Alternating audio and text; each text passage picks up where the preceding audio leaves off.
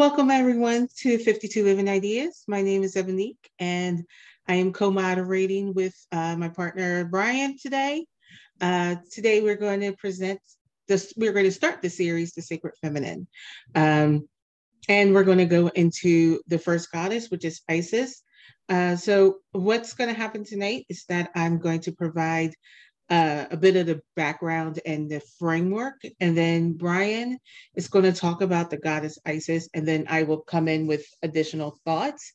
Um, so after I talk about the framework, I will stop and ask if anybody has any questions or any comments before Brian moves into Isis. And um, and the reason why I'm just setting up the framework because I think it's important. I want to focus everybody attention on the story of ISIS and I want to set up, you know, how did this come about and um, why are we studying this? Like, why do we want to study the divine feminine? So I'm just going to share my screen. Give me one second.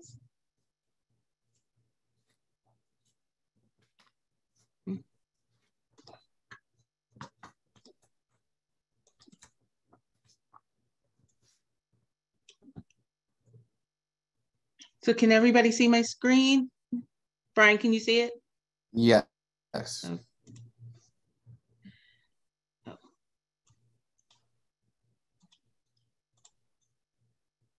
Sorry, guys, just give me one second.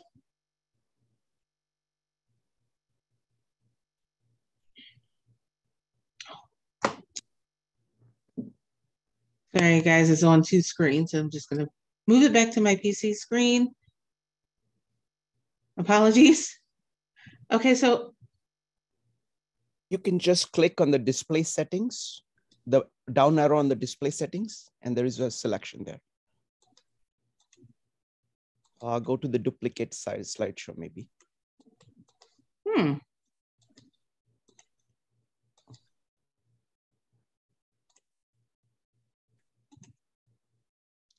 Okay, sorry. Um, is everybody okay with viewing it in this way? Can everybody see it? I'm sorry that it's not working properly. Yep, that's good. Okay.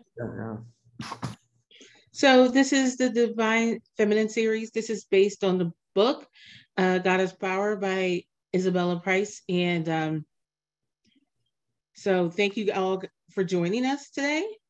Uh, so I, I just wanted to give the introduction.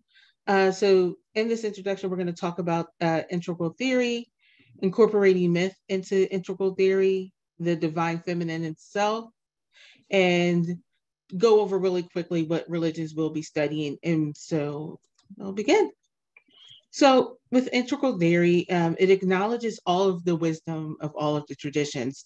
And that's going to go into like, uh, you know, we're going to study basically the five basic religions of Hinduism, uh, Christianity, um, Jewish tradition, um, a little bit of Islam, and um, Jewish mysticism, and you know other religions and other cultures are going to be in. Like ISIS is obviously of Egyptian origin, and so we're going to be incorporating a lot of other things in. I just wanted to kind of give an overview of that. Um, when we talk about this through the series, we're going to talk about the psychology, the physics, and the biology of it. Um, you'll see tonight as we talk about ISIS, we're going to talk about, you know, um, the psychology of ISIS and why we study ISIS, and you know, we're going to be asking you guys questions uh, to to show what you're going to get from it. So, the book itself, uh, Goddess Power, looks at it in three ways: Goddess Self is the great I, which is the first person. Um, in Christianity, we refer to it as God the Father, but obviously, since we're studying the divine feminine, it's just um, God as a persona. Like they talk, like sometimes the gods and goddesses are really like people in a sense, in that they have their own identity, they have feelings, they have um, you know they they love they show anger so it in a sense these goddesses are a lot like us as as, as human beings and it'll be apparent as to why a little later but just to give a little introduction the the reason why is because you know some of these stories were created by human beings and passed down by human beings. So obviously they will have the qualities of us. Uh, the second part of the God is the God as the great thou or holy other, which is like the second person. Uh, you could relate that, and I'm sorry, Christianity is just my background, so I just it's just easier for me to think of it this way. Is God the Son, and um, you know they're all together and they're all one, but at the same time, you know I, I hate to use hierarchy, but um, God the Son is, is the second person, and not you know if you looked at it as a hierarchy, it would be like God the Father, God the Son, and then the third God is God as the great. It's the Holy Spirit. It's the ground of being or the great web of life. They all have different parts to play, and so for me, this this whole thing just interested me. So as we are studying the goddesses, we're going to look at it as these three things, and so that's how that's a basic summary of integral theory. Um, the next thing I want to talk about is the divine feminine and masculine. Both feminine and masculine are within us, and it's not a gendered thing. And that's what I want to express. Um, these are just qualities that, for some reason, got classified this way. And if I'm honest, I don't like the classification of feminine and masculine, but it's the best way that we have to de- to describe it and when I did the research, that's how every speaker, everybody that talks about this topic talks about it. And I just think because it, especially in Western society, we kind of still see the feminine as um, inferior to the masculine in general. That's why I don't like to use it because it seems like one is better than the other. And I don't think one is better than the other. But we're going to go into the next slide. And so when we talk about the divine masculine and the divine feminine, these are the qualities that you'll see if someone is like dominant in their masculine energy. This is what you'll see. So in a divine masculine, it'll be they're basically logical, cognition, spirit, singular focused, structure, and action. And those are great qualities. They're the planners, right? They get things done. Well, actually, there's they're planners and they're executors. If you need to plan execute you execute it, you need a masculine energy to get that done because of these qualities. Now, obviously, you know, there's there's females that are that are great at logic great at cognition, they recognize the spirit. You know, they can focus on one thing and get it done into completion. I have friends like this that are females and they're great at it. That's why we depend on them for planning things because we know they're going to get everything done. Now, going over to the divine feminine, there's intuition, emotion, they focus on the body. Like, and when I say the body, I mean like like physically what's going on in the body, like how they feel in their body. Um, you know, they're more aware of the body mind connection or the body spirit connection. Um, and then there's the wide focus. So they see like the big picture. Like, you know, they, if you look over it where the masculine has a singular focus and the feminine has a wider focus, the feminine qualities can see the big picture. They can look at something and see how it's going to go through till the end, right? And they can see how it's going to affect other people. They're concerned about that. They're concerned about how it's going to help other people. They're concerned about how this decision that they're making is going to affect everyone. You know, whether it's a division of um, a decision about family and how the families run, or you know, the medical decisions, or whatever decision needs to be made, they're looking at it as how is it going to affect the community as a whole? How is it going to affect the family as a whole? How is it going to affect the group? And whereas the divine masculine is structure, uh, feminine is fluidity. So I think with the female quality, there's um, you know they're not so stringent on the plants they're flexible they're fluid they can if something goes wrong a, a feminine a person with this quality is able to adapt quicker. They can you know refocus their energy on the change and you know still just get the thing done. Whereas you know a masculine person is still focused on the structure and it's harder for someone with that masculine energy to adapt. And as an action and then there's a rest right? And and i think we could see especially with this last one um with western culture in general like you can see where it leans more masculine in this aspect um because when we we need rest and so you know western culture is a hustle culture um you know, in general, like, you know, hustle, hustle, hustle, get it done. You don't need sleep. You know, we always hear the saying, sleep when you're dead. Oh, you know, you just get this one more thing done. We can even see it in today's society. Like, even when we were working from home in 2020 and 2021, we weren't taking like time off to just goof around. No, we were like working those hours. So we we looked at it as commute time. Oh, we could still work. And so that's definitely and and there's room for that and there's nothing wrong with that but it has to be a balance and i think if you looked at this as a whole you can see if you incorporated both qualities and you respect both of these qualities and both of these energies in the masculine and the feminine you see the balance. And i think that's the beauty of studying both.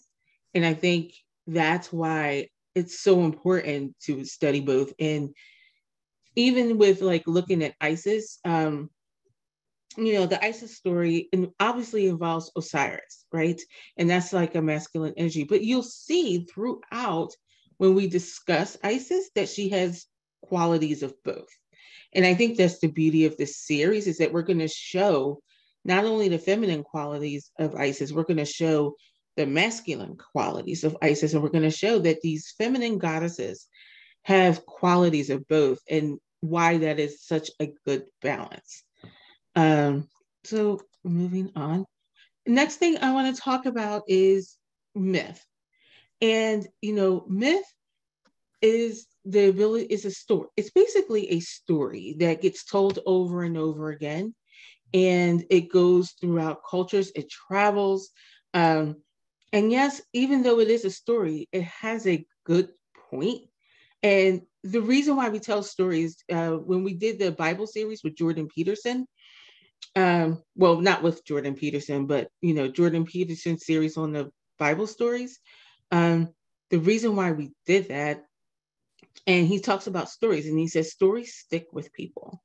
And I think that's why we tell these stories of these goddesses and gods. They stick with people and they bring home a point. And you could go with facts and figures and you know, be rigid like that and say, you know, well, factually, did this happen or not? I would venture to say to open your mind and think about it as if it didn't matter. And the reason why I'm asking the audience to do this tonight is because the story has a point to bring across and it you can relate more to a story and you can remember stories quicker than you can remember facts or figures uh, so that's why it was told. Um, so when we look at myth, you know, it's the eye, it's the instrument of perception. So when someone is telling a really great story, think about a really great story that you've been told. You you can, as the person's telling the story, you can visualize where they are. You can visualize what what the places is, what the colors are you can uh, know what the characters look like. You have an idea in your mind of what characters look like. So you're perceiving all of these things through your eye based off of your experiences. So you're bringing yourself to this story, which is why you remember it so well. You can bring yourself to the story and you can visualize it. And then another way to look at, at a myth is a window, and it you can see through the story. And so, what are you seeing, right? it depends. It depends on what do you what is the person who's telling you the story trying to convey. Um, so like, you know, in ISIS, it's trying to convey the story of family, the story of betrayal, the story of jealousy. Um, and the story also of reconciliation. You'll see that throughout the story. So, you know, looking at it through the window of like seeing through the story and figuring out what they're trying to tell you. And then it's a mirror. And this is what I want you guys to really like focus. I want you to focus on all these things.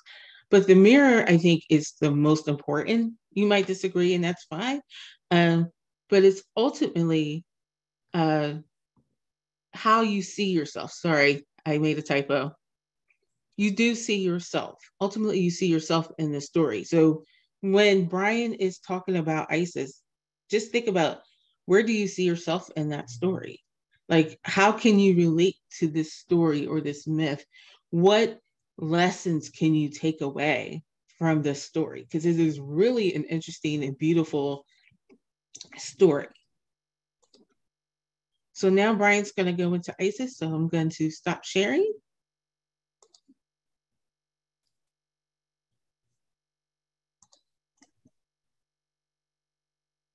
Oh, sorry. Before we do that, sorry, Brian, I already forgot. Any questions or comments? If you have questions or comments, you can type exclamation point in the chat or raise your hand in Zoom. So if you've gotten anything or if you have any questions or just anything, uh, you can type exclamation points in Zoom or raise your hand. I mean, type, type exclamation point in chat or raise your hand in Zoom. May I say a couple things? Absolutely. Just to kick kick things off, the um, oh Penny, could you close the? Is there a door to close? Yeah. All right. The um,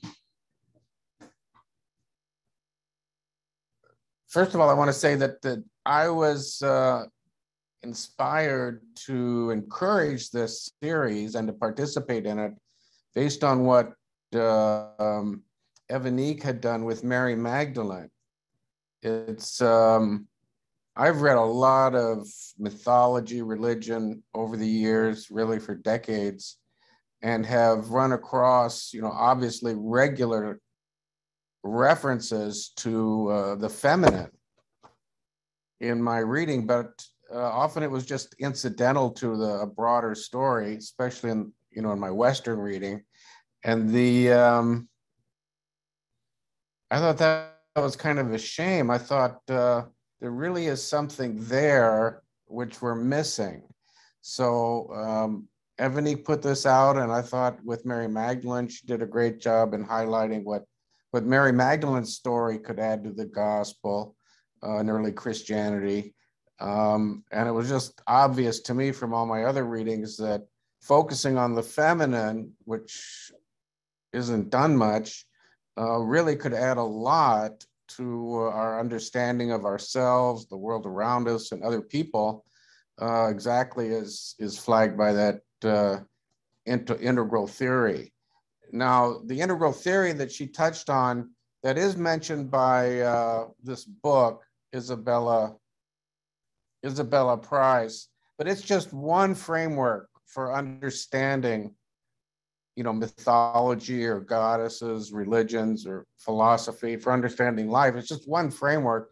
And the um, I liked it. I've read I read several books on the feminine to prep for this series, and that one seemed like the best because it was the most uh, this integral theory is the most open ended.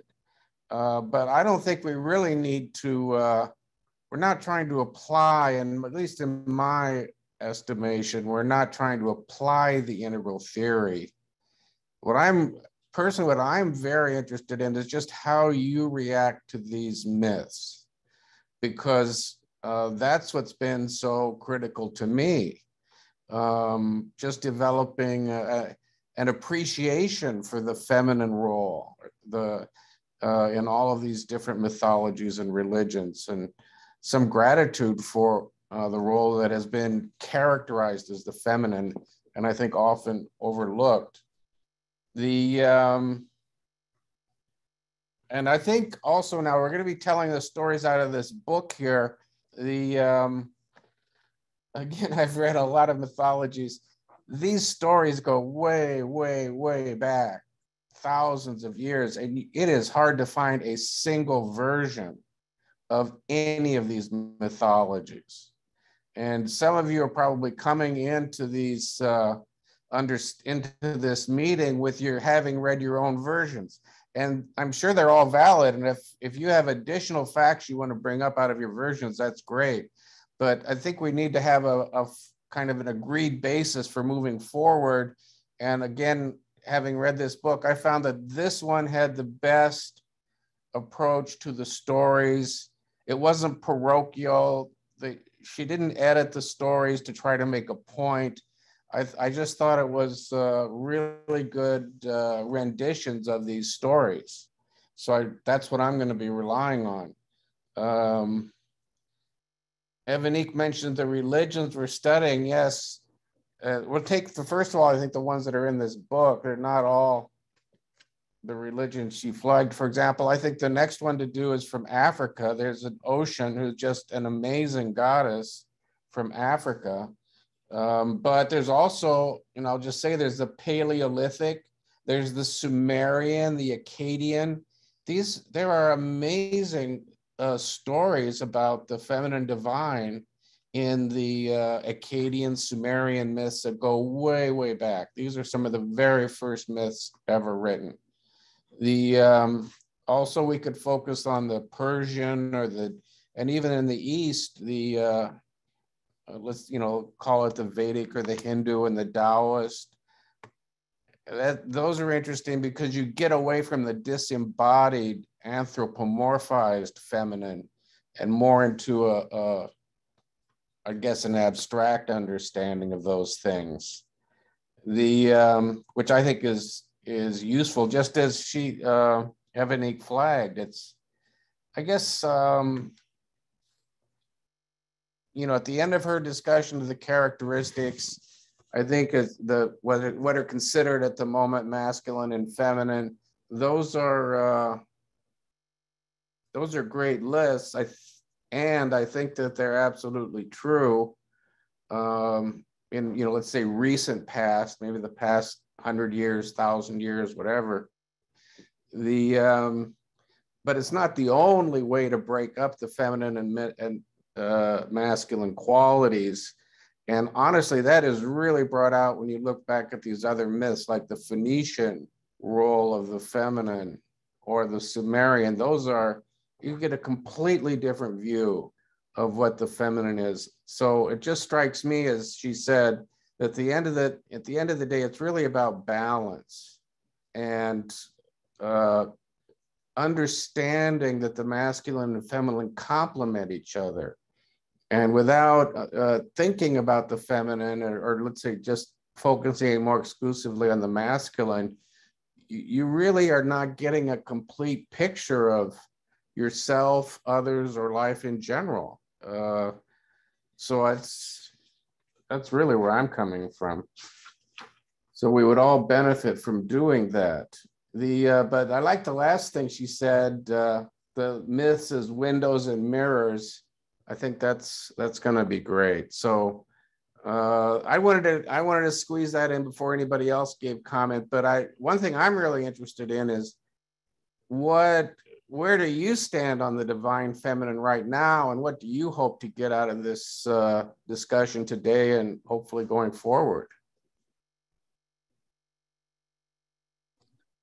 Thank you, Brian. Um, and you're right. I absolutely agree. Like we need to add all of the things that you just said into it. So um, thank you. Uh, so up first we have Dave Dittemore, followed by Joe. Yeah, thanks, Evanique. Uh, great presentation so far. I want to comment on the masculine and feminine uh, and the, the uh, characteristics that were listed on the slide. And, you know, naturally they're exact opposites. And what comes to my mind is the symbol of yin and yang, you know, the black and white uh, intersecting with each other, that uh, there's a white dot in the black and the black dot in the white, that uh, a healthy man has some female characteristics, a healthy woman has some male characteristics, that uh, I had think of it as just identifying the characteristics this way that a woman can be analytical and still be a good person, this, that, and the other. It's just that they're just educate. identified as these type or uh, analytical is identified as a male trait, but doesn't mean it can't be the other way. Uh, just, uh, but uh, it's I think it's just healthy to uh, say we can we can really be anything we want to be. Thank you. Thank you, Dave. Um, all great points, and I agree. I love the part that you said about the yin and yang. I know Sharif Khan at one time talked about that in one of his presentations, and it, it's true. And I and I think that's a great way of describing it. Is that you know a healthy and whole person it not only has those qualities, but isn't afraid to express those qualities. You know, they're not identifying them as somehow inferior or superior, that they can express those qualities that they have and and be a whole person expressing who they are and who they're created to be. I mean, obviously in each person, there's some things that dominate sometimes in some people the feminine dominates and some people the masculine dominates but it's the balance and the respect for both i think is key to making the whole person so thank you up next we have joe uh, thank you, uh, Evanique and, and Brian, both for your comments. I mean, yeah, I'm just gonna, I'm, I'm excited about this series. Uh, you know, I, I, I think we're gonna see, you know, some of the traits that you'd already outlined, but I, I wanna see also, it'll be interesting to explore how the feminine actually uh, is is revered in different belief systems uh, and how that actually plays out in culture itself.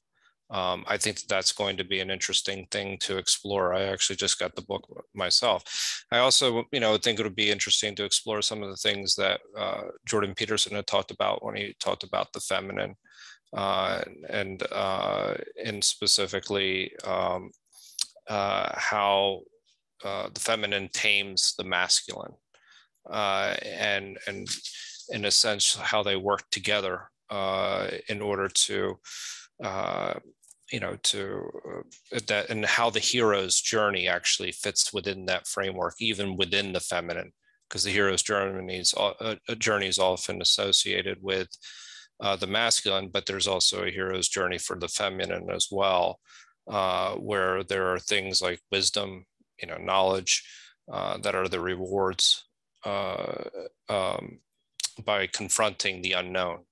Uh, so I, I, think that this, I, I, think this has a lot of. Uh, it, it, I'm I'm interested again to see the how this also plays out within different cultures as you know how this manifests itself in culture as well even with us today uh, i think I, I believe, you know, the United States, are in particular, you know, it tends to be more of a masculine culture.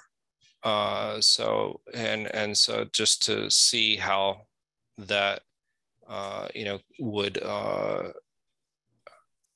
how that actually impacts our everyday life. Um, so those are just some, some of my thoughts. But I'm excited about the series.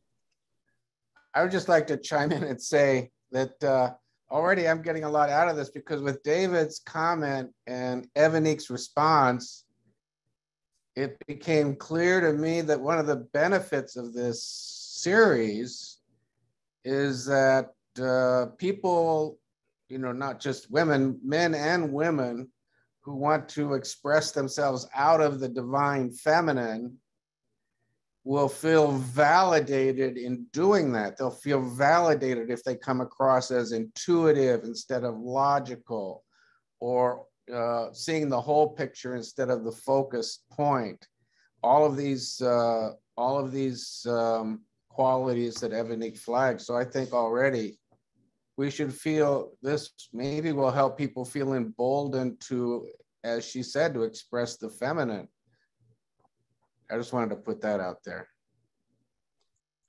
Thank you, Brian, and thank you, Joe. And Joe, um, I just I, I like the part about you know Jordan Peterson saying that the feminine tames the masculine. I think that's something that is worthy to explore.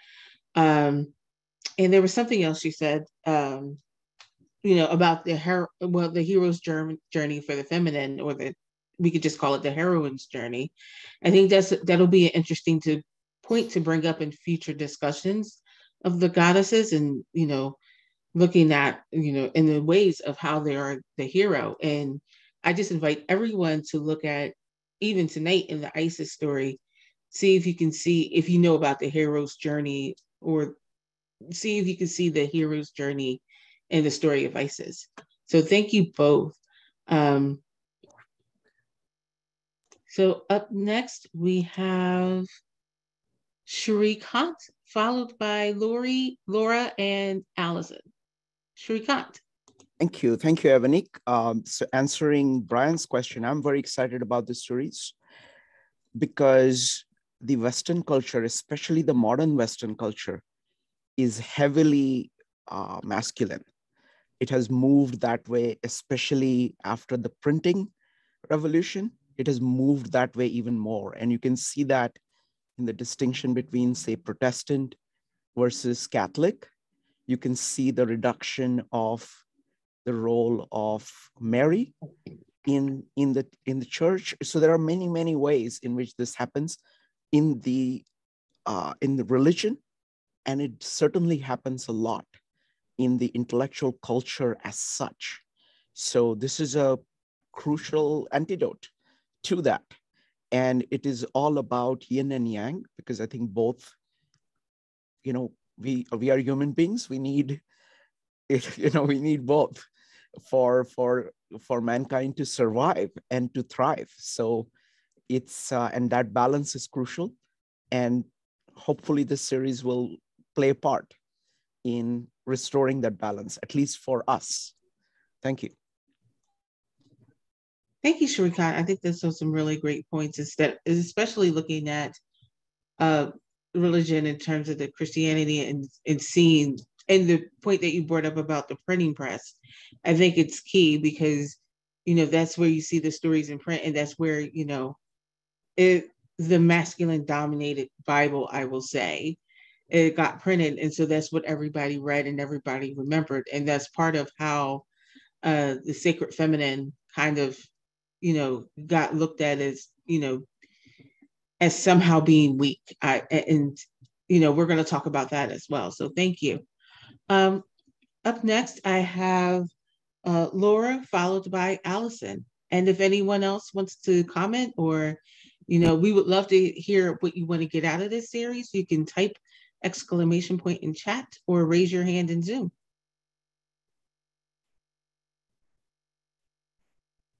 Ready for me? Yep.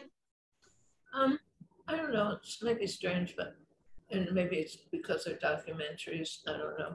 But in a lot of these, you find that the queen has a lot of influence over the king, although he's running. You know, the masculine side actually is the prominent one, but the queen quietly he turns to the queen quite a bit, although her role is never, you know, viewed with great importance and I've seen it many times. So, um, and I agree with it with the advent of the church and religion. All of this has become more masculine. Why woman is more subservient in general in each one of these cases.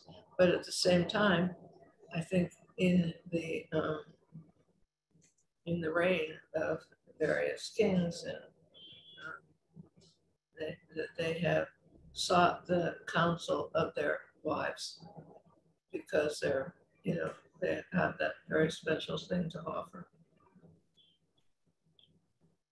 And, you know, the, internally in the house, the wives are considered very important, very with great strength.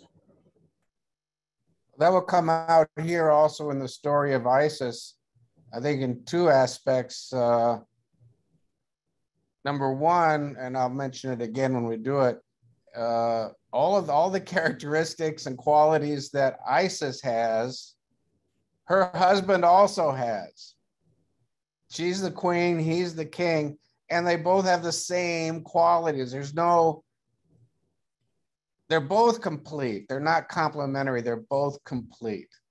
So mm-hmm. that's, uh, and so they're equal partners. It's really a fascinating, a fascinating difference there. The, um, and then she's instrumental also in providing for the succession of the the king father Osiris to the king's son Horus. So she plays a very important role there as well. Also, when you look at it, I mean, when Victoria took up the throne, I mean, she wasn't necessarily born to be, you know, the, only potential, you know, person to take the throne. When Elizabeth would take the throne, I mean, these people weren't, you know, these women took on the role of great power, but they weren't necessarily deemed in a way at birth that they were going to have those qualities, those masculine qualities that are necessary. But somehow they managed to, you know, find in them and brought them out, I guess would be the best way to say it. So, and the men in their lives were subservient to a degree, but they also took the counsel of their husbands in many cases, depending on the nature of the situation. Mm-hmm. Yeah, uh, just to add to that, Laura, that's a good point about, um, you know, the husbands listen, like the kings listening to their queens. And I think what you see is two things. You see the balance, right?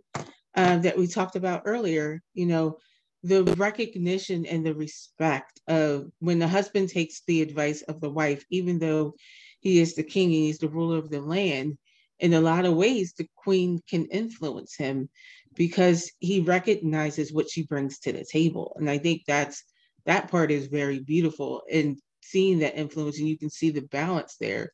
And you see it in different texts too. Like um in the Bible, for instance, the one thing that pipe that popped up for me was the story of Abigail, David, and I forget Abigail's first husband, but he was not wise and he would not listen to her. You know, David was asking for help and he didn't want to give it. And, you know, she recognized who David is and she had the wisdom to bring what David needed to him. And David took her on as a wife because he recognized, um, you know, her wisdom. So and uh, you're right through all the like through all the different religions you could see the wisdom and i think even in masculine dominated books like the bible it shows the wisdom of listening to wise women and i think you know in the story of the bible wisdom is a woman so you know even then you'll see the balance and i think that's very interesting something to think about um so uh, Oh, sorry, Laura, you wanted to say something? Uh, Laura, you're on mute. Aren't all these traits, you know, inherent in both people? I mean, don't they come that way in, in so in some sense equal to begin with? Yeah, there's definitely those masculine and feminine qualities in both people. And, you know, like I said before, some exhibit more some people exhibit more masculine qualities and some people exhibit more feminine qualities and but it's the balance because we need both to have a truly balanced society and world uh, how come it depends on who's teaching them which qualities come out yeah masculine more feminine yeah we'll have to look at that i guess it's learned i would say so, yeah yeah I'm interested to know if it is or not learned. Thank you. I'm done. Uh, Gave me a lot of time. Thank you. Oh, you're welcome. Up next, I have Allison, followed by Penny. Um, I just want to really thank you for doing this, especially right at this moment in time, because I think that a lot of American women right now feel that the feminine contributions aren't really valued. And it's kind of like a big moral, uh, I, I don't know, it's very, very defeating. And so when I saw that you had posted this, I was really, really glad because I think it's important to know the history of this and know, um, you know, really to celebrate this because the thing is we we need both qualities, and it really is true that not, um, you know, I I know women who have every one of those masculine characteristics, and I have met no men who have every one of the the feminine but i feel like lots of times we're really we're socialized to be one way or the other and i know they've done studies on women who've gone to all female colleges and because there aren't men there they take on leadership roles in a way that they don't in a regular in a co-ed school and then they go on they've tracked them over the years and they were wound up being more successful down the road just because they felt like they could take on those roles. But um, but i feel like they're all important really you know like intuition is something that is really not respected very much in this country. You know a lot of the things on the feminine side aren't just you know they're not really respected that much but yet they're so important you know? And so i think um, i just want to thank you for doing this. I think it's really um, a great time especially to be doing this so thank you very much. Appreciate it. Appreciate that allison. Um, and you're welcome. And you bring up some really good points about you know and especially the point about the um, the women who attended all female schools that felt like they could take on um, leadership and like qualities that are seemingly masculine and not even think anything of it because you know no one told them that they couldn't right? And you know they're in a, an environment with other women that encourage that. And so um and and i think too um you know like you said it, it, it all like what like you said or like what everybody else says is that both is needed and we and, and that's the, one of the reasons why i wanted to do this and I'm so glad that Brian partnered with me on this because I think I I know I need that masculine balance too that mm-hmm. Brian brings in. You know, Brian's the one that suggested the book, The Goddess Power. And so in it, you know, when I read it, I was like, this is great. And you know, I wouldn't have thought about that book in this series if Brian hadn't brought that to the table. So, you know, recognizing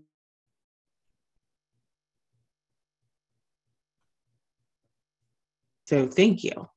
Okay, thanks. Yeah, and also it's true, like especially not just with kings and queens, but I think in any good relationship between men and women, they're going to respect each other's ideas and they bounce off of each other and they they become better because they're they're feeding off of each other and and pushing each other out of their comfort level and um so it's not just kings and queens really you know i mean i've seen it with family members that you know been married for many many years so. oh yeah Thank i think you. well kings and queens are like gods and goddesses they're just you know in some ways they're just exemplars you know it used to be people thought that's the only only uh, life worth focusing on was the the celebrity or the wealthy and but now it's uh you know what the things we observed about those elites, I think, are true in general. Absolutely. Thank you, Brian. I want to, uh, comment on oh, what sorry. Joe said, if I may. On, Absolutely. I'm, I'm sorry. So, I'm not always so quick on at the trigger, but you know, Joe was talking about the difference, you know, about being interested in exploring the hero, hero's journey from a feminine perspective, or the hero and heroine journeys. And I'll just point out it might they might be very different. The um, just the, there are a few things uh, that have come out of feminist psychology, I think, or that would illustrate this. The uh, you know the general approach. It felt like whenever you the the old orthodox approach to a threat in psychology was the human response. The human response is fight or flight, fight or flight. And the uh, feminist psychologists studied this, not just in uh, humans, but other primary uh, primates and the uh, and mammals. And the response uh, of women or the female is uh, tend and mend. If you're confronted with a threat, if a woman is confronted with a threat, she would try to tend and mend uh, to avoid or repair damage, whereas the men would fight or flight. so the typical ma- uh, human response was really the masculine response. And the other thing is the, um, or a couple more. One is uh, the men tend to think in terms of uh, relationships or excuse me, transactions and women in terms of relationships, just as so it's really the focused versus the broad based, and that's been established. by psychologists. And also the uh, men tend to think more in universal uh, principles and women are more situation oriented in terms of their ethics. So uh, for all those reasons, I think of the, the heroine journey, I think could be very different from the, the hero journey. I don't, I hadn't really thought about it, but I'll bet when we, as we explore it, we'll see that there are real differences. Yeah, I'm actually looking forward to exploring that. That was one thing I didn't think of. I, I think we definitely need to focus on that because I want to learn more about that too. Um, and I think the the thing I like what you said is that women tend to tend and men and women and men do the flight or flight. I think that's something to explore throughout these uh, when studying these goddesses. Like how do they deal with conflict? Because one of the things is that you know the in a goddess's stories and all of them there is some type of conflict or some type of war um i, I think that's is it'll be interesting to see how they deal with it maybe we can talk about the hero heroine journey in that as well uh so oh, did you want to say something else brian i'm sorry no. I'm done. So up next, I have Penny, followed by Laura. Hi. Um, well, I think this is a you know a great series. I've been reading some books, and one of the things that I hope that we we talk about some in it is you know in the history, um, like prehistoric times, Neolithic times, the great goddess was really the predominant goddess in society, and then um, with the Iron Age and tools. Um, people became more warlike. And so the men had the physical strength. And so they were able to become the dominant force in society as opposed to the women who weren't as strong. And so I think, uh, you know, over time, inequality that they considered, you know, that men, since they were in charge, you know, they, they felt like they had the best qualities, and those were the masculine qualities, whereas feminine qualities were were you know lesser and not the predominant ones. But I think in early history, it appears that both both sexes were much more even and uh, women had dominant roles and they played leadership roles and they were you know in charge of religious activities and scribes and you know lots of innovation and i just think it's kind of important to to bring up kind of the the history of you know why um, the the divine feminine kind of disappeared and why women are considered and their qualities which are just human qualities but why they divided them and they consider women less you know, the feminine qualities not as important or not as useful.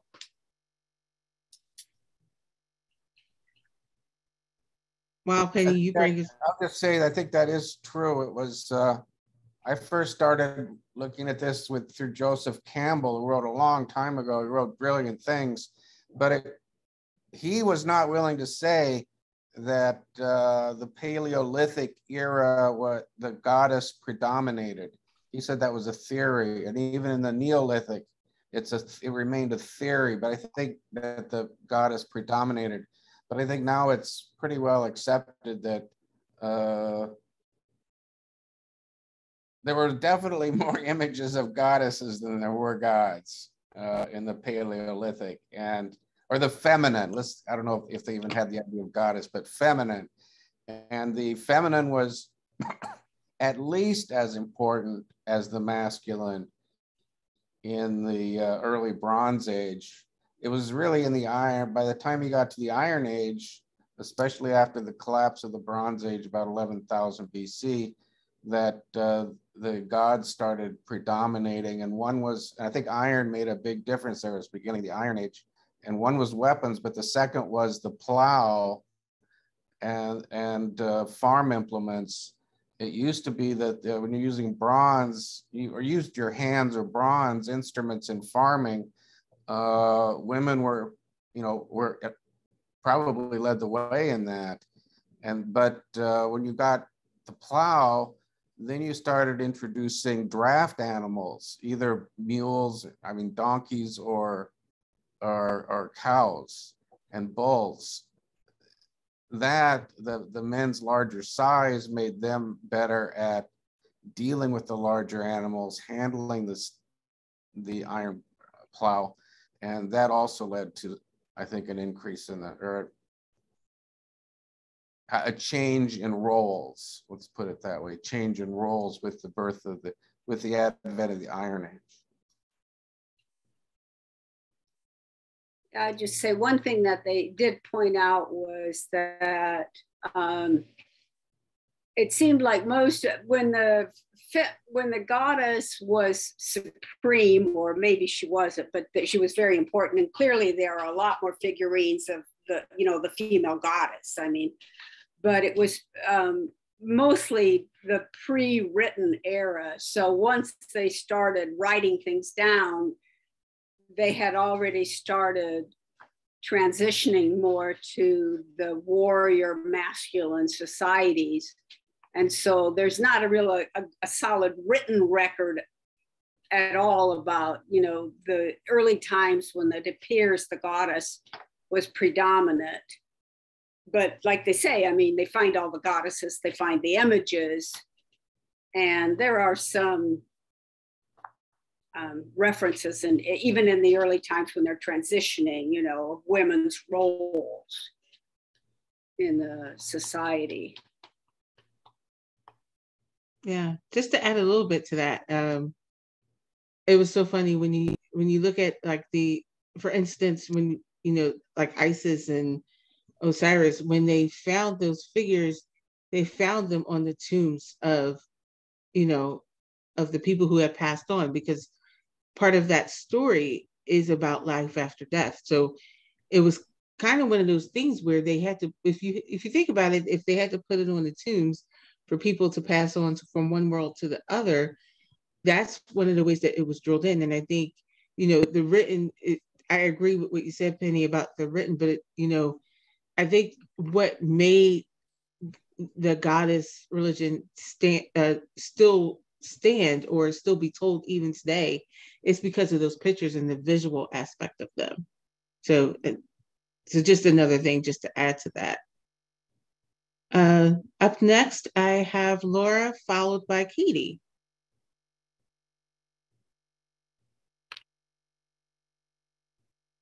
Well, when I put my name out there um, originally, it had to do with a silly little thing when you were talking about women empowerment. Um, when I took my daughter college shopping years ago, we went to many colleges, and Wellesley was one of them. And I have to tell you, every school had an aura around it so that when you got there, you felt its aura. And I will say that Wellesley had an aura of empowerment so powerful. I mean, it was incredible. It just, it, it came out of the pores of the school. So I think there was something to be said about going a female school and empowerment. And I can understand that. Um, and I mean, I went to Tufts and all kinds of places, and the the the strength of Wellesley College was profound. My second thought was, and now I have to think a little bit about what. Oh, okay. So when men went to war, women stayed home. Women had to take control of every single responsibility associated with keeping the farm alive, the children alive, their home together. So they had a, a, really huge role that they had to assume. So I, I don't know how, in any shape, manner, or form, that they could be considered having done lesser, you know, because that was a lot that they did. You know, they took over financial stuff, and, you know, so that was my comment there about that. Yeah, one interesting thing to note is, you know, a lot of about women's liberation came after uh I forget which war it was, but I, I think it was I want to say World War II, but I could be off on that because like you said, Laura, women had to, you know, they they had to go into the factories and make the bullets. They had to because men were huh? That's World War II. Yeah, and they had to go and make the bullets and they had to like handle the financials and everything. And then the men came back and, you know, the men just wanted the women to just go back into the, you know, go back into the housework and, you know, and women were like, no, we're definitely capable of more than this. And where they, they made to work, you know, they went, they got jobs and went to work and earned money, which they, and they didn't want to stop working. Yeah.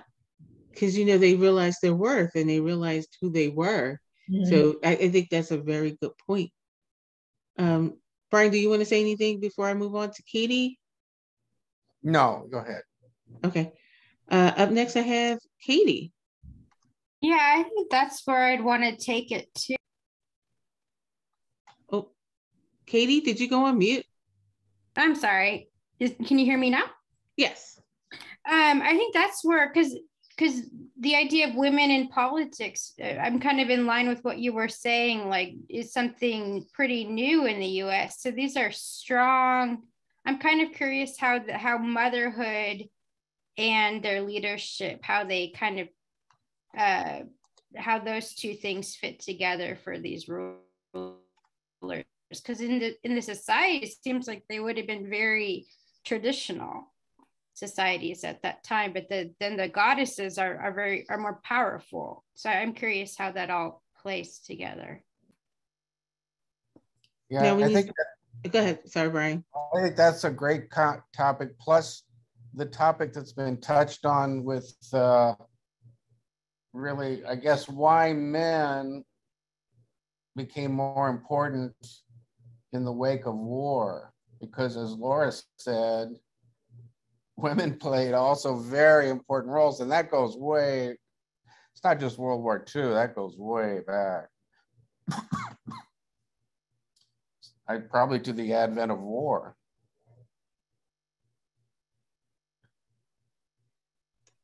I think that's a very good point, and I think uh, to your question about motherhood, Katie, um, I think you'll see that motherhood, especially for the goddesses that has children, it empowers them. It it, it makes them stronger. It um you know it, it gives them the will to do almost anything for their children or you know anything for their children. So you see that strength in them.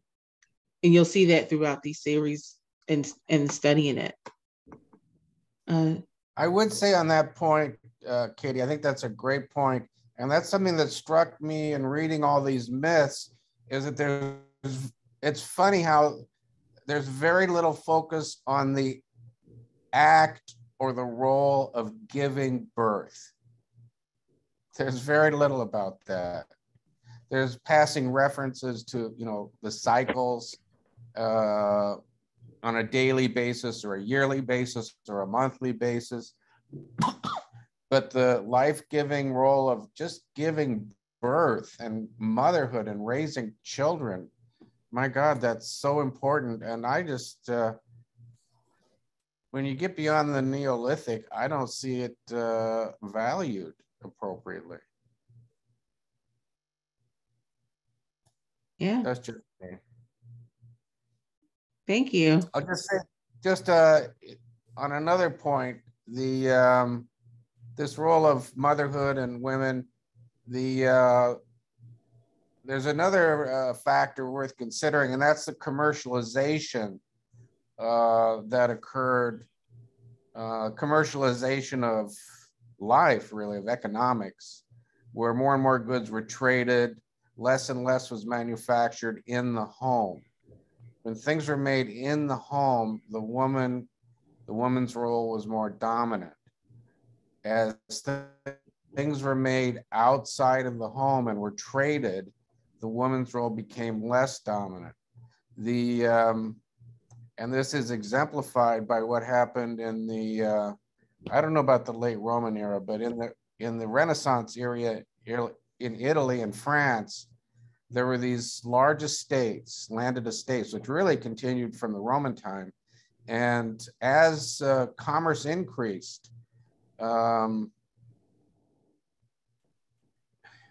there had been commerce in the Dark Ages, but as it increased with the Renaissance, people have documented the fact that more and more men were pulled out of the home, pulled out of the estate to be integrated into the commercial world, just like people are being integrated into the globalized world today, that men were pulled out of the home, integrated into the commercial world, and importantly, received money for what they were doing. And the at the end of the day, this isn't my theory, it's somebody else's. At the end of the day, uh, the only people left at home were women and mothers, and they're the only ones who didn't get money for their work. It used to be that nobody got money for their work. They were all living off the estate. And when you have the commercialization and the way I outlined, the ones who are left behind were the women, just just because they didn't get money. And there's no reason that motherhood should not be monetized. It's a very valuable thing. It's a good idea. Thank you, Brian. Those are some really good points. I think that's, I didn't even think of it that way until you just said it, but it, it makes perfect sense. Um, up next, I have Cherie Shrikant, followed by Laura. Well, um, I just want to follow up on what Katie said. Motherhood is crucial. Sons are raised by mothers, you know, and that relationship. So it's like when women are put down, you are putting down the next generation of men as well as women. So there is no no way around that. Uh, that's it. Wow, that is really profound. That and it's true. Um, it it I know this is going to sound weird, but it made me think of a Tupac song where he talks about motherhood, where you know when you raise children, when you raise boys in particular, he was talking about boys, and he was talking about boys in the lower income uh, African American neighborhood. I can't sing the lyrics on here, but basically what he said was that when you raise sons to hate women and devalue women, this is the point, that you raise a race of babies that hate the ladies. That's what he said. And he said, you know, but it's the mothers that give birth to them. So you're you're raising men to hate women that are going to give birth to their sons and daughters. So it, that's a very good point. It just made me think of that. Uh, up next, I have Laura, Joe, and Allison. Um, this goes back to women and war. I also believe that some women tried to sign up to fight in the war. And so they did make an effort as they were not accepted at that time, but they did try. And I think even during the Revolutionary War, there were women fighting. That's it, just a comment. Mm. That's a very good point. And yeah, it's true that some, I think some men, some women even disguise themselves as men so Yeah, that they could fight. Yeah, yeah, they made themselves look like men, Yeah. Yeah. So, and they, they did exist and they did fight. So, so much for, Um, up next, I have Joe. Yeah, I'll be very brief. Um, as far as giving birth, it's it's interesting because you know one of the things that you think about the feminine and that we talked about during MAPS meeting is this idea of creation uh, and the critical importance of that uh, and how that relates to uh, hierarchies in general. But yeah, so I just wanted to, to bring that aspect is that the creative aspect of bringing something new into the world um, and the importance of that and uh, in, in, in, uh, in both myth and, and, and divine feminine. So. Yeah, I think we talked about that in the Jordan Peterson Bible series too, about um, the feminine being the creative force and being the creation and the darkness being uh the darkness being the feminine because out of it comes everything so you know through the darkness even in the christian bible story uh through the dark through the darkness god created the heavens and the earth so that's a very good point Um, so thank you. Uh, Brian, do you want to say anything before I move on to Allison or? No? Okay, just wanted to check. Up next, Allison. Um, what Shrikant said reminded me of like when you're on an airplane and that um, if you the oxygen tanks come down, you have to put it on yourself before you put it on your child. So if we don't protect women, we're not protecting sons. Um, and and also every childbirth, I mean, anytime a woman is pregnant, it's a potential risk to her life. And um, you know, there's been a big rise in C sections, and some people like, oh, well, why are they doing that? Well, when a C section is done, it's because there is a risk that if the woman goes through labor, she might not survive labor. And we kind of, you know, in our modern day times, we act like, oh, women never die in childbirth, but um, partly they're not dying because they're having C sections. You know, there are many, many reasons why, you know, and, um, but, you know, even in our modern times, every time a woman is pregnant, she is taking on, you know, she's literally risking her life to bring the child into the world. So it's important to respect that, I think. And, you know. I 100% agree with that. Yeah, so true. And one thing about C-section, what people really don't realize, and um, is that a C-section is a surgery, right? Like, you know, OBGYNs will tell you all the time, like, you know, people don't think of them as surgeons. And they're like, they're absolutely surgeons. They have to be. Because if something goes wrong, they need to go in and get that baby out. So they are they have to study surgery and they have to know how to do that. So yeah, literally, you know, pr- appreciating women for bringing life into this world is key. And and when you have a C-section, you, you know, you, it's not like a regular surgery where you can just recover. You have an eight week recovery period, but you're taking care of an infant while recovering from being cut, you know, from one end to the next. Yeah. Yeah. On the, on the cynical side, are they doing more C-sections because they are surgeries and they can make more money? I can answer that question from knowing an OBGYN, and the answer is no. No. It would be a big risk if something went wrong in surgery and it wasn't necessary. Mm-hmm. So it wouldn't be worth the cost to the hospital or to to the doctor because they could oh. be sued for malpractice. I'm glad to hear that. Yeah. So no. I said it was a cynical side. I yeah. I don't really believe those things, but I thought I had to throw it out. Yeah, yeah. Uh, so up next, I have Penny, followed by Connie. I just what we were saying just reminded me and, and from the the goddess book saying one of the reasons that the goddess was the initial great you know the highest deity was because the woman is the one who gave birth. And it was clear to everybody that that was where life came from was from the woman. And so she she was the creative force. She was the you know created the whole cycle of life. And they associated of course her with the earth too and the earth bringing life the same way that women gave life and so i think that was um, a recognition early of the, you know, the very importance and the role of, of the women and uh, motherhood.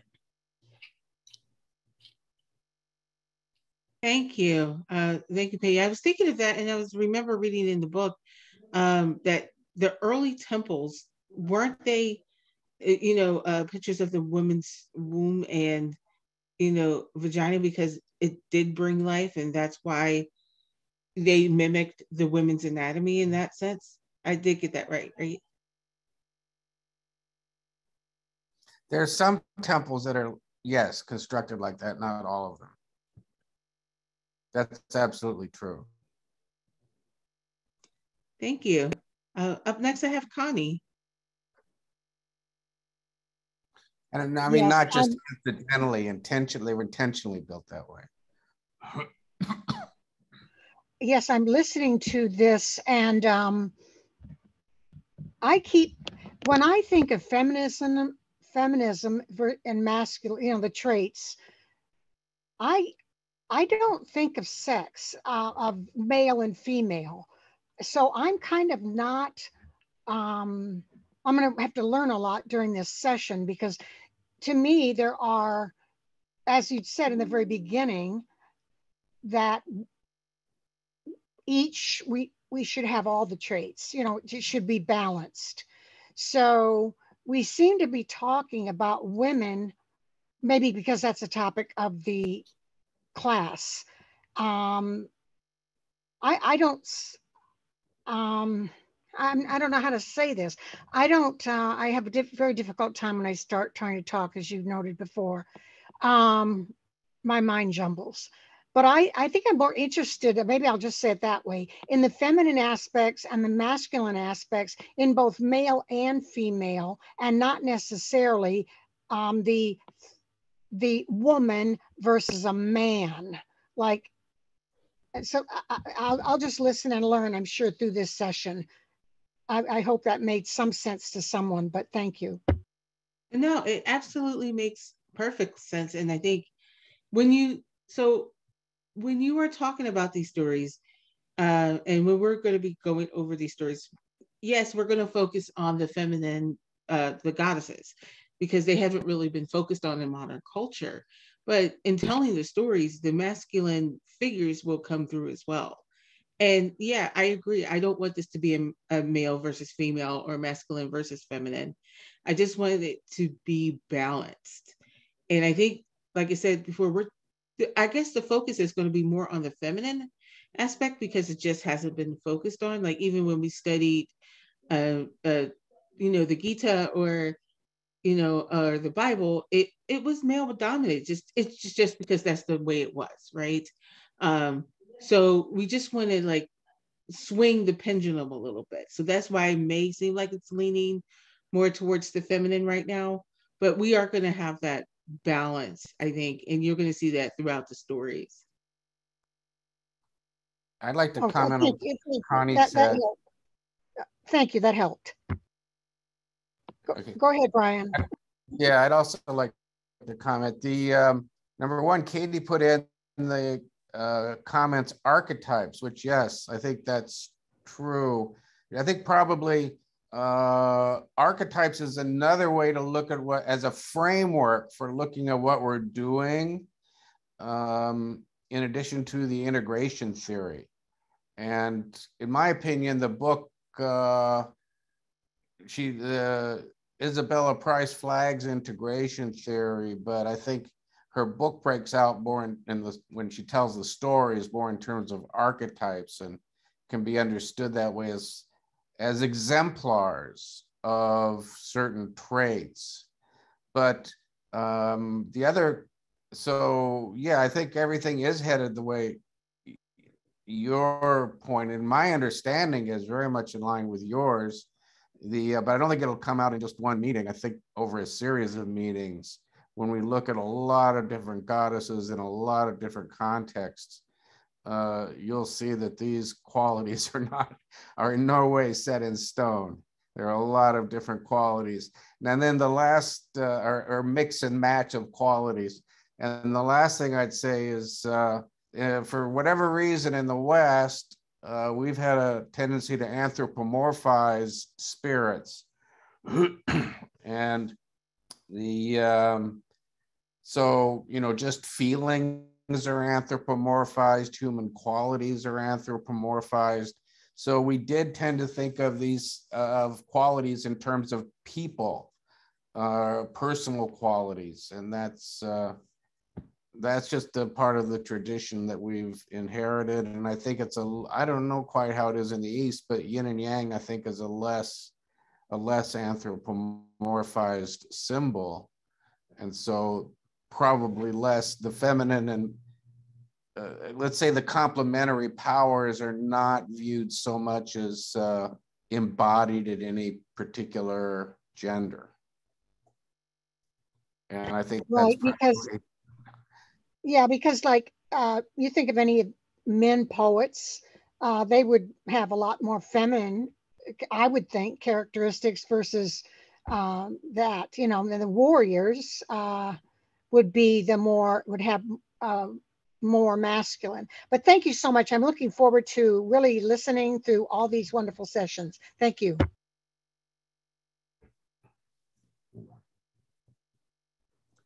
shall we Thank get started Tom. with the, Oh, sorry, Sure. what? shall we get started with Isis? Yeah, whenever, whenever you're ready. for me, that's been, this has been great. The, uh, I think that for me, the biggest takeaway was the first one between Dave and Evanique in just talking about this. It validates the feminine. And so the people are coming from the feminine are more emboldened. I think someone used that word, more emboldened to express themselves, which I think is a, already a great thing. The, um, so let me just talk here briefly about uh, Isis. The uh, I am going to rely on what's in this book because again, there's so many different versions. If you have some additional facts you want to bring to the table, uh, you're welcome to do that. I've also left out some things because this is a web of gods and goddesses and stories and relationships and events. At some point, you just and Isis was involved with a lot of other events and goddesses and relationships, at some point you got to just draw the line and say, you know, for the purpose of discussion today, uh, I'm going to focus on certain things. So some things have been left out. If you want to bring them back in, you're welcome to, do that. The um, I have broken out uh, Isis. Oh, Isis, first of all, is a uh, an ancient Egyptian goddess ancient Egyptian goddess. But she was um, a very popular goddess, first of all, in Egyptian times, but after that was uh, also very popular in the Hellenistic and Roman periods. So that, uh, see if I can find this here. Uh, her cults, her temples, um, her stories, her persona, uh, was spread throughout the Middle East, uh, throughout the Mediterranean and the Middle East, from Persia to as far as, as Rome and Spain. So a very popular figure that outlived uh, many different cultures. Also, I would say this isn't, um, it comes out somewhat in the book, but not completely. Um, yes, it is a figure that evolved over thousands of years. So even before we had the early dynastic period in Egypt, uh, there were hints of goddesses like Isis. And that understanding of the goddess like her uh, changed over the centuries. So, you know, again, we're not dealing with uh, uh, just a snapshot, a figure that was that came and went like a celebrity. This was a, a very important figure that had important influence uh, throughout the world uh, in many different ways for a long period of time. Uh, I want to start out with a preliminary about the um, her family background. It gets a little bit confusing, so I'm not going to overdo that. But she was uh, born into a family of gods and goddesses.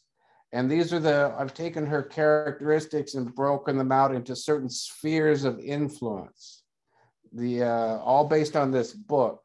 And the spheres of influence are nature, uh, medicine and healing, culture, and politics. The, uh, you know, you could add more to that list, but that's, I think, a good start. The, um, so I want to give the family background a little bit first because that ties into nature. The nature, uh, her role in nature is well understood or can be well understood by understanding her role, where she fits in with her family. Now, uh, she's in the uh, the third generation of gods, third generation, which already is makes your head spin. Um, but I'm not counting as the first generation, the first god, which was Atum, and I apologize if I'm not pronouncing it. Atum was a one, was one person, one entity or non-entity. You can you can discuss but I'm not going to spend time on the nature of Atum. Uh, Atum gave birth to uh, two children, uh, a male and a female. The male was Shu, and the female was Tefnut. And Shu was the uh, the male was the god of air, space, and light.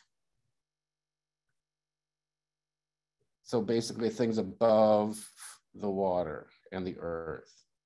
And Tefnut was moisture and water.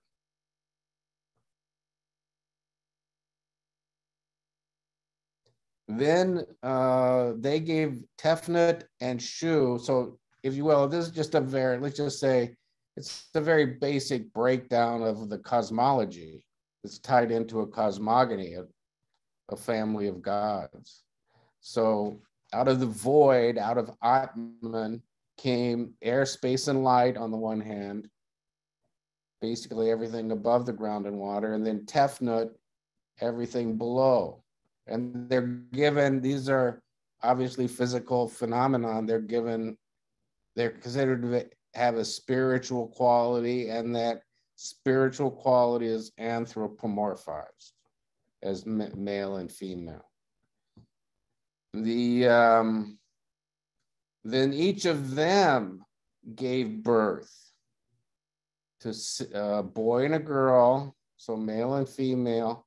The uh, boy, so this would be the basically the grandson of Atum, the son of Shu and Tefnut. He is Geb, G E B. He's the god of the earth. And then the uh, the granddaughter, so the sister of Geb is Nut, N-U-T. And she's the goddess of the sky. So right away, I just want to flag this is so confusing. And the only way to keep it straight is that uh, this happened, this cosmogony, this understanding of these gods, have, have evolved over centuries. Centuries. And the, uh, because I'll just point out here, we have Shu, who's air, space, and light. He's the son of Atum. And then we have the granddaughter of Atum, who's the sky. Now, there is some, you know, reason for that and that's the uh, the sky was considered to separate out uh, uh, the waters from the earth. We'll get to that in a minute, but the um, it does get to be very confusing, and to kind of add to the confusion, and I'll just flag this here because it doesn't fit, at least on Isabella Price's presentation, doesn't really fit well into the family tree there is another goddess out there which plays an important role, and that is Hathor. H A T H O R. Hathor is the god, the cow goddess. Cows and bulls were very important in Egypt, even in a very early date. And uh, the cow, especially, was associated with abundance and prosperity. But there was a the female cattle were uh, was Hathor uh, uh, embodied or epitomized by Hathor. The god was uh, the bull was Apis, A P I S. And they do, I'll just say because I've read about this recently, uh, a lot of these things are still being discovered. And the most, the earliest discovered, this is very recent, the earliest discovered excavations of uh, temples to Hathor are uh, in the, the lower Egypt. So down the up, away from the delta, up the river. And there were discoveries of Hathor evolving as, and Apis, I suppose, but Hathor was the one discovered, evolving as her own goddess, quite apart from this family tree I'm giving you. So it's like a separate god or a separate god and goddess that's this part separate and apart from this family tree. And you, you can kind of see that because one is based on a cosmology and the other one is based on animals. All right. The uh, but I mentioned it because they both play a role in Isis for Isis. Now, uh, Geb and Nut, uh, the grandson and granddaughter of Atum, they gave birth to four children. The uh, let's just say the it's not fair, but let's just say the good ones and the bad ones. There was a good uh, son and daughter and a bad son and daughter. The good son and daughter, Osiris was the son, Isis was the daughter. The bad one was Seth and Nephthys. Seth was the son, Nephthys was the daughter. It's not really fair for Nephthys because I think that's the least fair for her because she's uh, the goddess of the underworld. She takes cares of souls. She's a goddess of darkness. And we've talked about, you know, the goddess, the darkness can be a source of nurturing and creation. Um, so she and she and she was also a goddess of households. So she had a she is not viewed as negatively as Seth is in the stories. Let's put it that way. All right, Osiris um, was the king god. So already, I think now at this point we're we're entering a period uh, where we don't have we just don't we don't have just natural phenomena like the sky, the earth, water, moisture, darkness, light. These suggest a, a very earlier genesis for these uh, gods and goddesses. Even the cow and the bull, an earlier genesis, probably a neolithic early Neolithic. But the uh, now, when we get into this next generation, and kind of, at least for me, I get a hint for how this is evolving we're starting to get goddesses that capture the spirit of kings and queens. So we're moving beyond, uh, you know, simple, a simple society to a rather organized civilization. And at that point, we get another generation of gods and goddesses to capture the spirit of that. And uh, Isis is the queen and Osiris is the god. And then kind of they have their counterparts, the dark side, Seth and Nephthys. All right. The um, so that's the breakdowns of the gods and goddesses. The as I said, the uh, I think that the when you get the god, the great, the granddaughters, Osiris and uh, uh, and Isis, yeah, you're this this is uh, reflecting developments in the Egyptian civilization. This, these occurred at a later date. And that's, I think that's probably generally agreed. The other thing is that's kind of interesting is that the um, Isis sometimes would take over the roles and functions of her mother and grandmother. So it was just another, it's another iteration of these uh, qualities that are embodied with her and the qualities that uh, that had been with uh, Tefnut to some extent and with Nut, so the grandmother and the and the mother are now also captured by Isis, and those are tend to be nature oriented.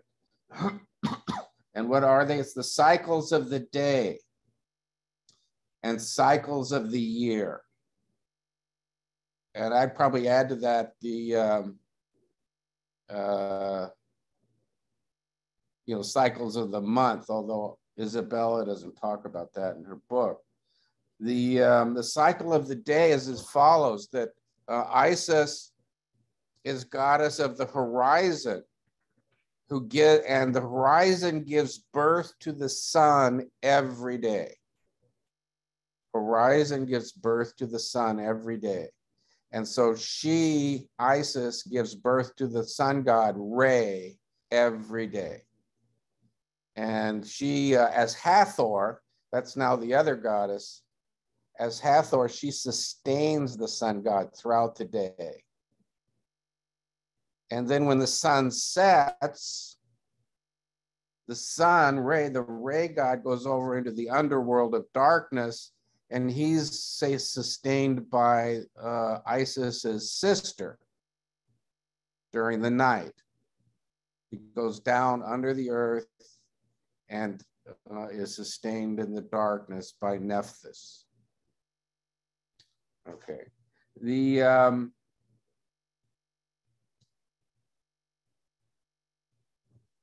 to complete the picture on Hathor, the uh,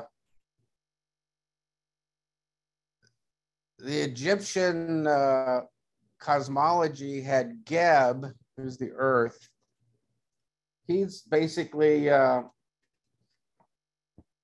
let's just say he's a, a cattle or a bull, and he's lying on his back with his legs up in the air.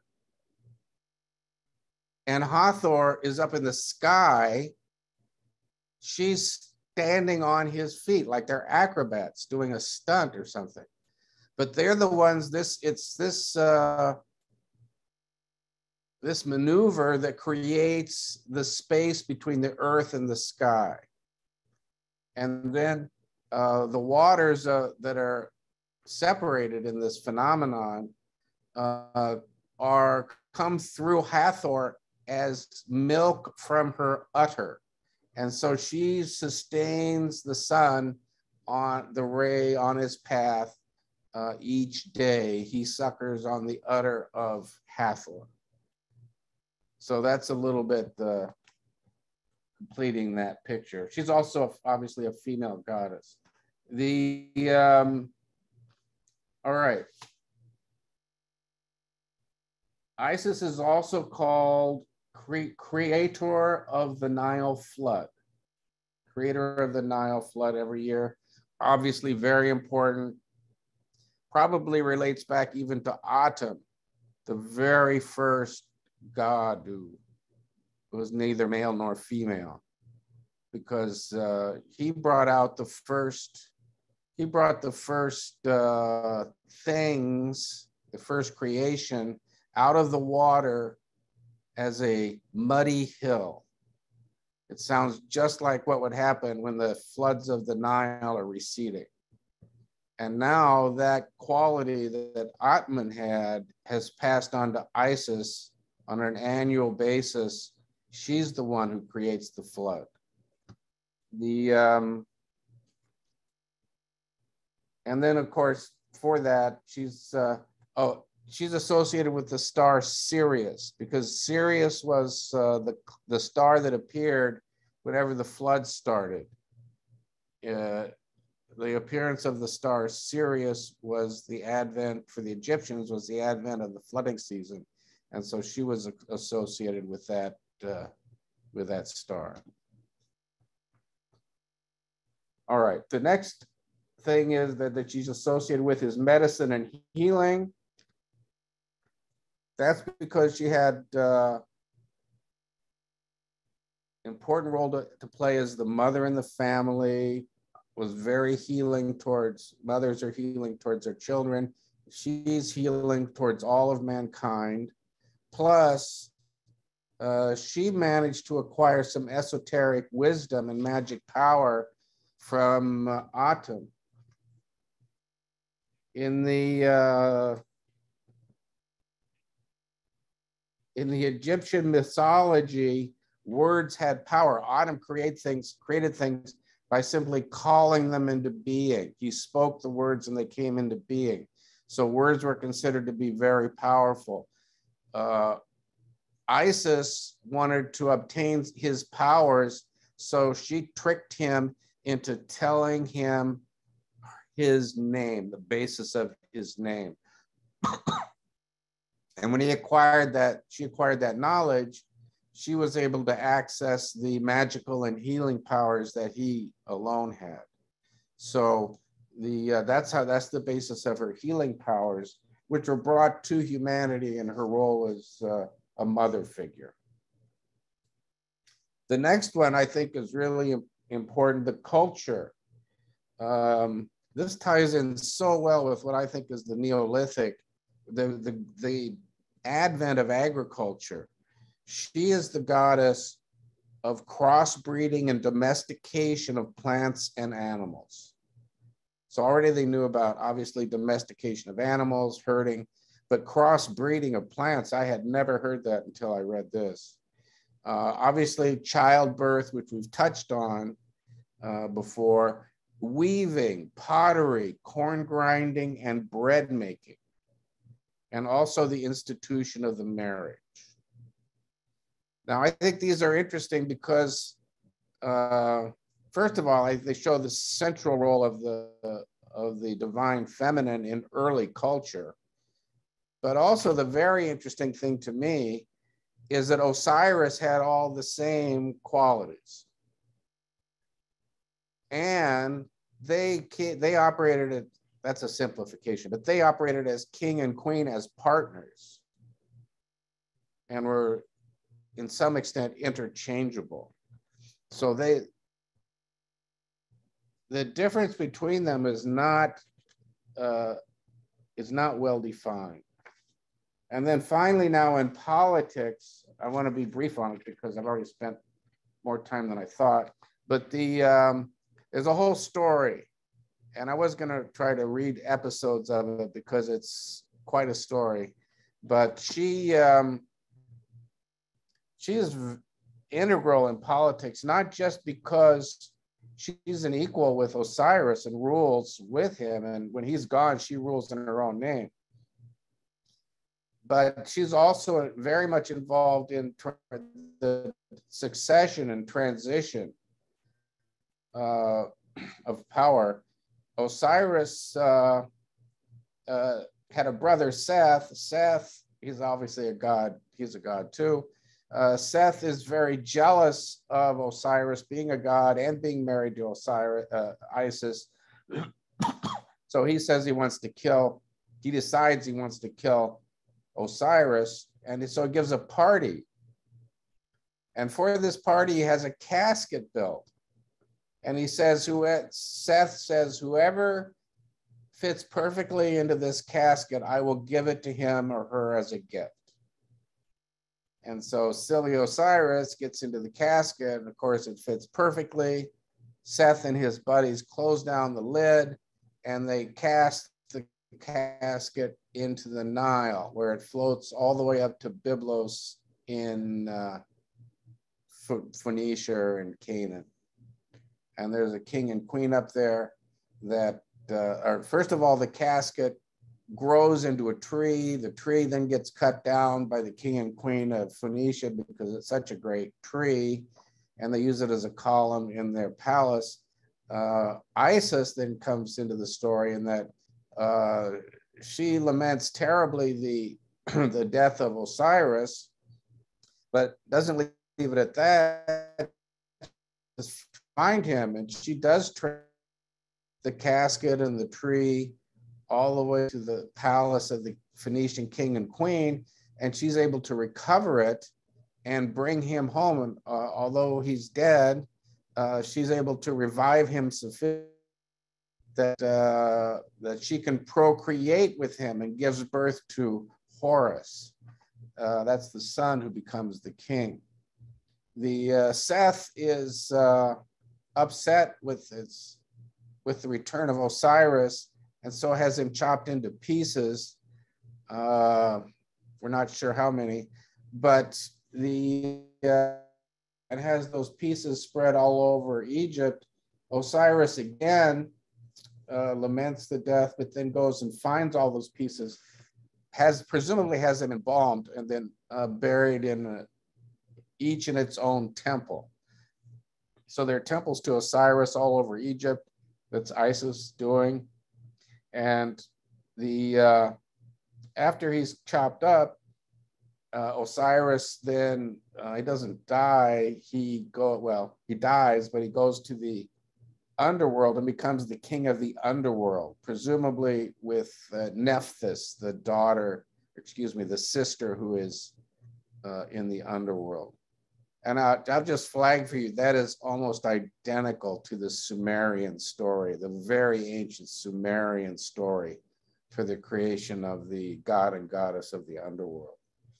But um, I'll leave it at that. That's so those are politics, uh, culture, healing, and medicine and nature, all attributed to Osiris, who is a very important figure throughout Egyptian history, including the Hellenistic and the Roman periods where Egyptian influence was quite significant. So I apologize, I went on, this is just my first time through this. I went on a little bit too long. I'll turn it back to Evanique. Thank you, Brian. Um, uh, there is some, you know, that was a really good telling of, you know, the story of Isis and Osiris and also the history and the background, which I just think is really important. So now, um, before we move on, uh, I just want to make sure, uh, I see David has his hand raised. So if anybody else has questions and or comments, you can either type exclamation point in the chat or raise your hand in Zoom. So up first is David. Thanks. Uh, Brian, uh, perhaps you can help me with a uh, historical question. After Alexander the Great, uh, his general Ptolemy uh, took over Egypt and successfully enhanced the Isis religion uh, by combining it with the Greek uh, Eleusinian mysteries.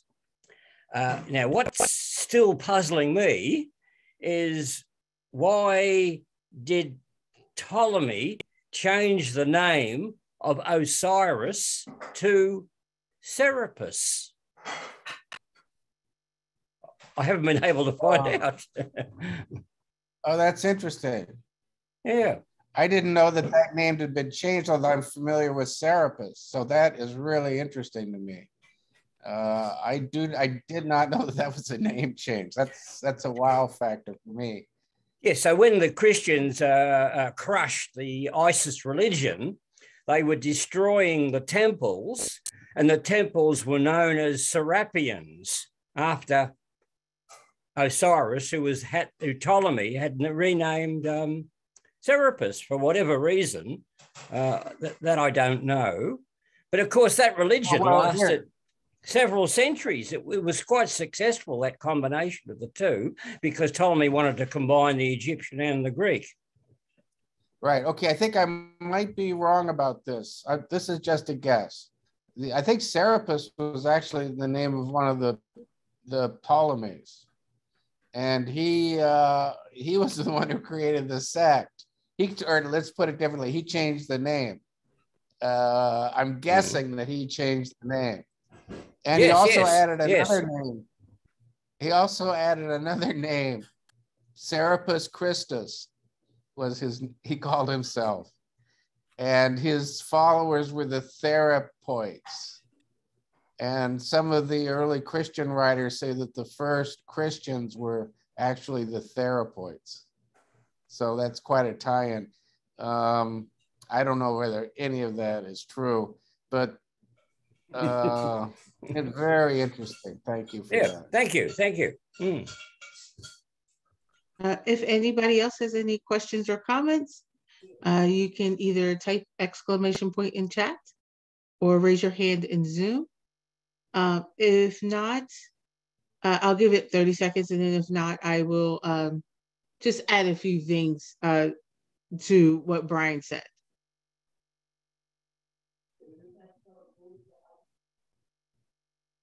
Okay, if we don't have anybody, I'm going to go back actually to the presentation. So, oh, I'm going. Oh, wait. Sorry, guys, I meant to share my screen first. Um, so let me do that.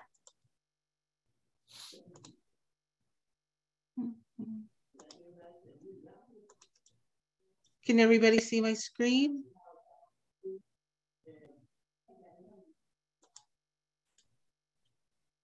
Yes, I can see it. Great. So now I'm just going to go in. I think this should work. Of course not. Um, so uh, going back to uh, Isis and Osiris, I just wanted to bring together some of the things um, and some of the themes throughout that Brian had already mentioned, but I just want to talk just a, for a few minutes about. And so um, Isis and Osiris is the story of family, uh, life after death, and popularity. One of the things, like I said before, um, these stories were written on the tombs of Egyptians that were going into the underworld. And that's because of the story of Osiris. Um, you know, after Isis put him back together and mended him back together, you know, she sent him into the underworld to rule. Um, you know, after she conceived a child with him. Um, and this is one of the mo- more popular stories. And it, I think it's the one of the more popular stories because it just has all of the elements, right? It has life, death, uh, jealousy, uh, betrayal, all of those things, right? So I, I think this is one of those stories that I think everybody can see themselves in at some point. Obviously, to not the degree that you would cut up your brother or sister, uh, obviously, but you know, you could just understand some of the emotions of it. Um, so another thing, like we said, is set in Osiris. Um, that is similar to Cain and Abel and the jealousy and the one brother uh, killing the other. You know, um, Cain was jealous of Abel because he received God's favor, and Seth was jealous of Osiris because Osiris was ruling the kingdom. And Seth uh, also, you know, wanted to be with Isis. So there's that theme of jealousy and betrayal and also wanting the brother's kingdom. Now, of point, um, and I don't know if we're going to walk through this, but I just thought this was so interesting is that when we talked about um, the shadow, and Jordan Peterson actually talks about the shadow in one of his lectures, and he mentions Osiris because he says Osiris and Set is, you know, the story kind of can be similar to Osiris not looking at his dark side, which is the brother Set. And when you did, when you don't pay attention to your shadow, it comes out in ways that you don't want want it to.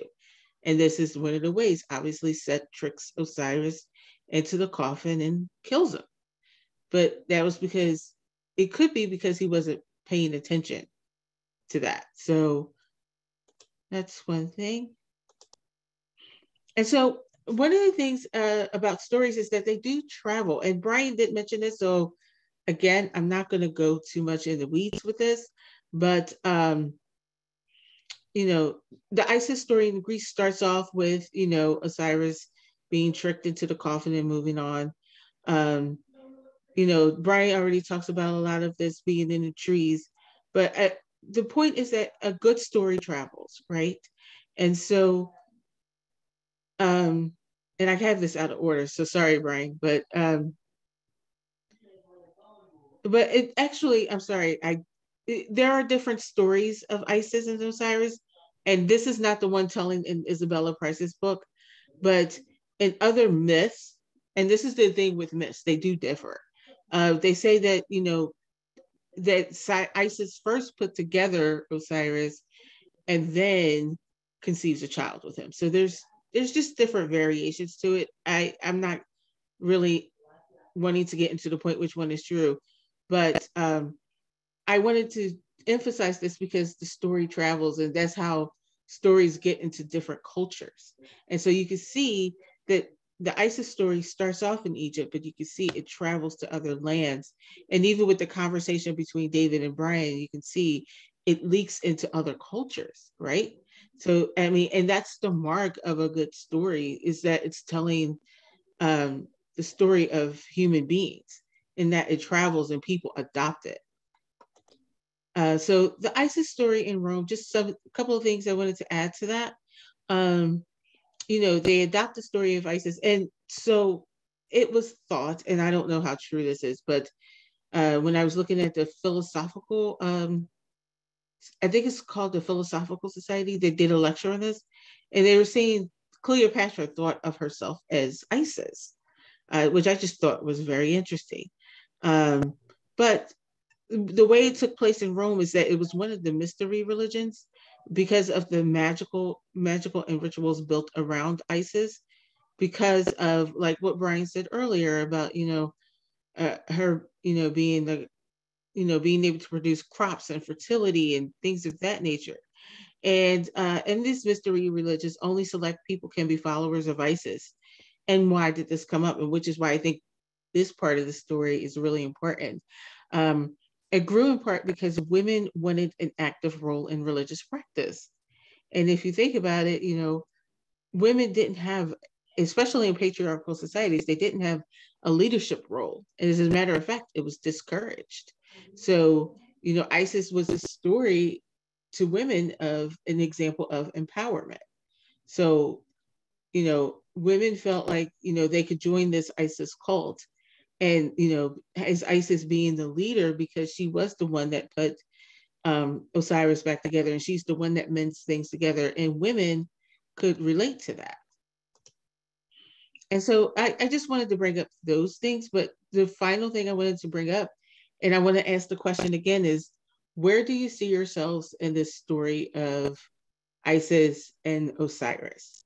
And of course, you can comment on anything or you know talk about anything you want. But that's just a question I want to put out there. And you don't necessarily have to answer it tonight.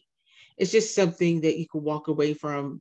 Just wanted to give people something to walk away from and think about because the stories these stories are meant to, you know, have you look at yourself, right? And, you know, and see what like see the qualities you see in yourself and these uh in these goddesses and gods.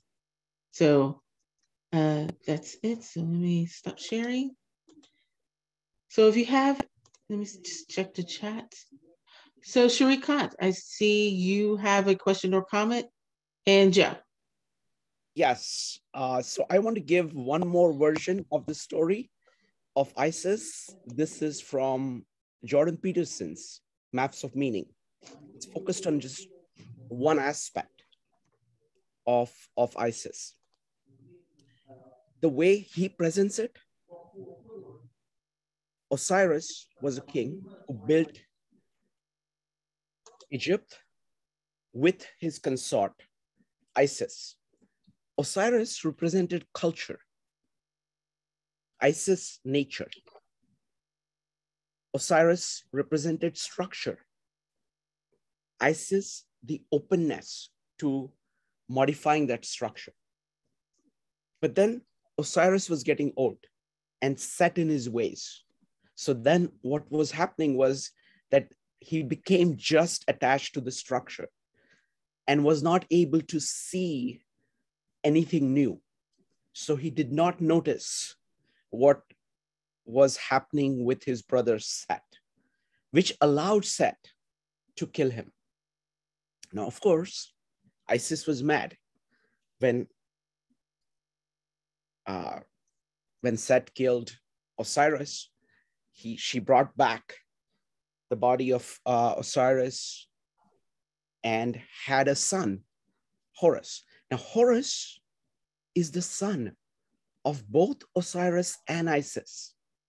He has both the elements of structure and elements of openness. He has both ability to order and openness to chaos. So he's able to do new things. And he uses that in order to defeat Seth. So uh, the thing I like about this story is that it captures the role of Isis here. It's when Osiris becomes old and gets away from the creative faculty, openness faculty of being able to deal with changes that results in his death. And then it is Isis's life she's the one who brings back new life by getting Osiris and creating Horus. And Horus, because he has both those elements from Osiris and Isis, is able to do something that Osiris could not do. So I, I love this, you know, the, the role of Isis as presented by Jordan Peterson in Maps of Meaning. So just wanted to share that with you. Thank you. That was great because uh, you expressed that way better than I ever could have. So thank you. Um, that is, uh, let me just say a couple of things about that. That is a, a great story. Um, just to flag a couple things. It's it it I think it highlights the transgenerational role of women. Another another uh, I think topic that that isn't discussed enough and isn't valued enough. she was a she was a pivotal figure in moving from Osiris to Horus and obviously it's a cycle it's, you know it's an archetype. It's a cycle. It's something that happens over and over again. And the fact that it happens over and over again is uh, is captured in the symbol in egypt that um, the throne that osiris that the king sat on was called the isis throne the isis throne. And because she is the one who raises up and nurtures and brings this young man to the point where he he can be king and then sustains him. Shit that is the isis throne. And i'll that's uh, actually that's an evolution of the image because the image is uh, one of the uh, originally the image was one of horus the child sitting in the lap of Isis in a chair. She's sitting upright, and he is uh, she is suckling him at the breast. And that the iconography of that, many, many people say, is the basis for the iconography of Mary and Jesus. I don't know about that, but that's the kind of uh, the force of that image. It's a very powerful, um, very powerful archetype.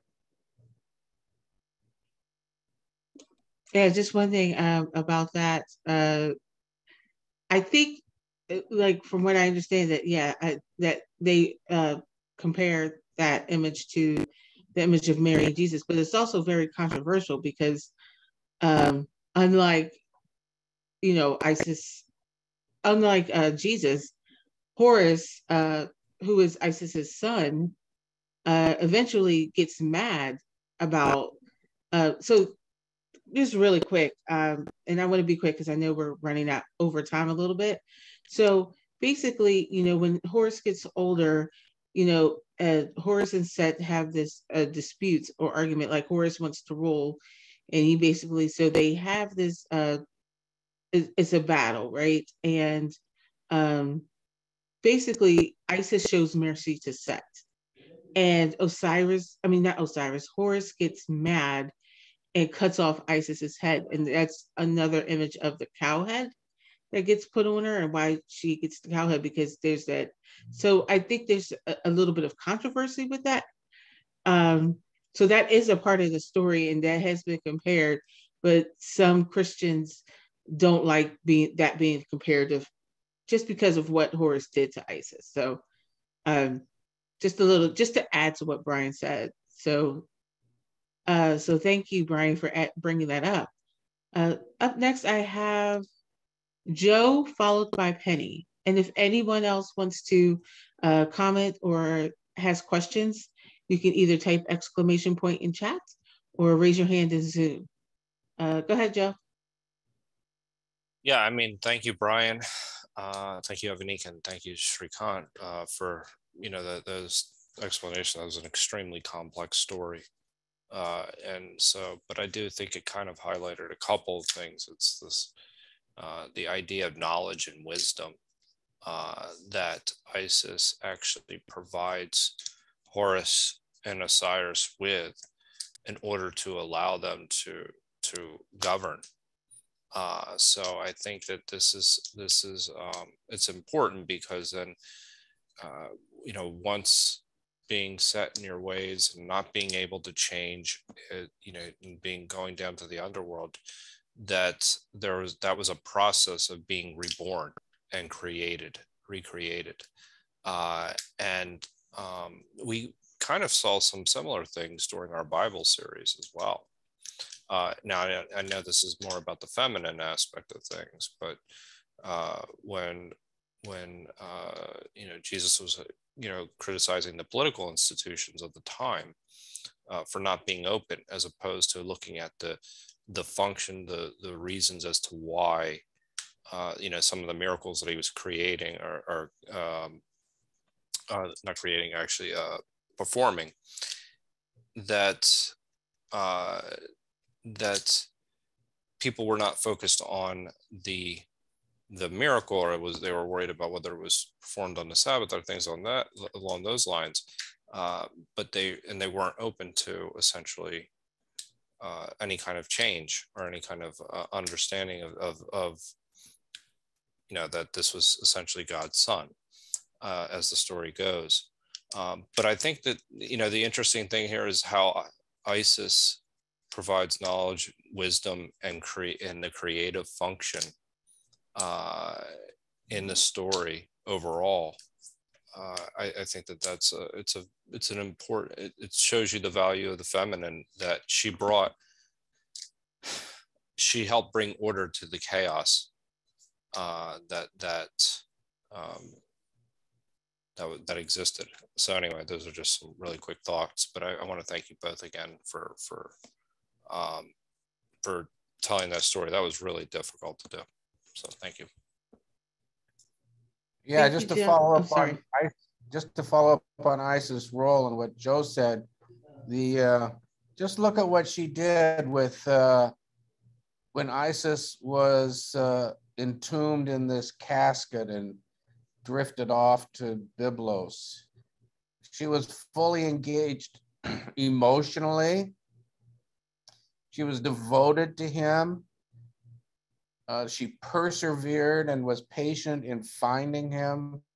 She went, brought him back, and had a purpose in mind that was really uh, it was it was uh, political in scope.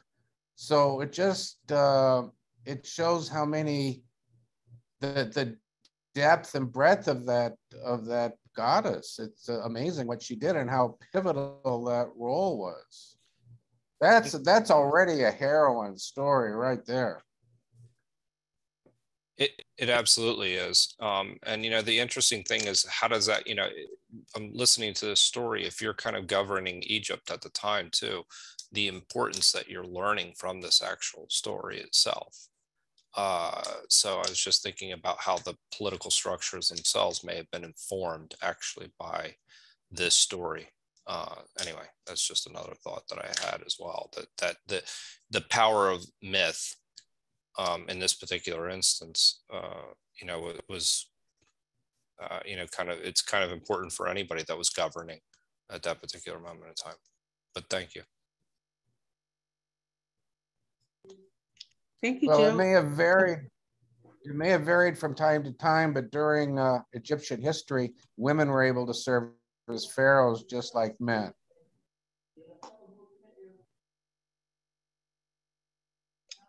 Thank you guys. Thank you both. Um, you guys both brought up some really good and interesting points. And I just wanted to add a quick note is that you can see, you know, the masculine and feminine in Isis. And you can also see the masculine and feminine in Osiris and and Set. And you know, Joe when Joe brought up the point about order and chaos, and that ISIS actually, in this instance, brought the order and set, in a sense, created chaos. And, you know, ISIS had to like put it all back together again. She had to bring order back when she had to put ISIS, Osiris back together again. She had to bring order back. So I, I think those were all really great points. So thank you both. Um, up next, I have Penny, Shrikant, and Rupali. So Penny, you're up.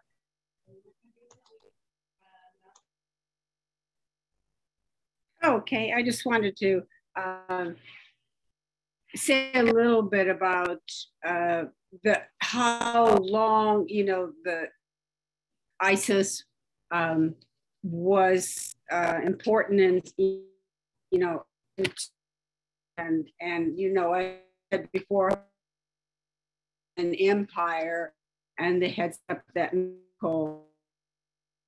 religion and that they felt like uh, they they got a spiritual awakening when they reenacted the story of her um, what she had done with Osiris and going into the underworld and, and you know putting them together again and people felt that this was um, valuable to them and um, Turn off your video because you're breaking up. Oh.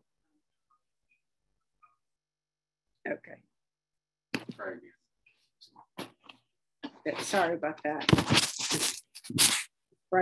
On another, well, just that they, they felt that it was a uh, example of like a, a, a spiritual reawakening because of the mystical qualities that she had, the magical qualities in bringing Osiris um, back to life.